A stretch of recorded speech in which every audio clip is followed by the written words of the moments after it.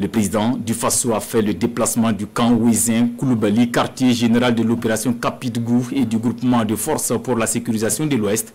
Visite du capitaine Ibrahim Traoré pour galvaniser le commandement et les combattants à garder le cap, celui de continuer à pilonner les positions ennemies au fin de neutraliser les groupes armés terroristes. Karim Bikianga. Quand Ouezin Koulibaly de Bobo Dioulasso ce vendredi, le capitaine Ibrahim Traoré échange avec deux groupes d'hommes engagés dans la lutte contre le terrorisme.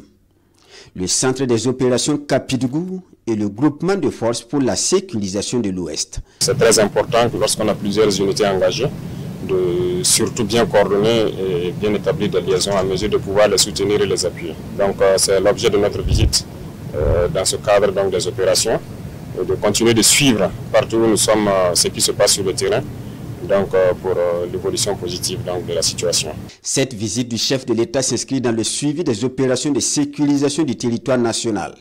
Une mission à laquelle le capitaine Ibrahim Traoré s'adonne depuis mercredi à Bobo Dioulasso.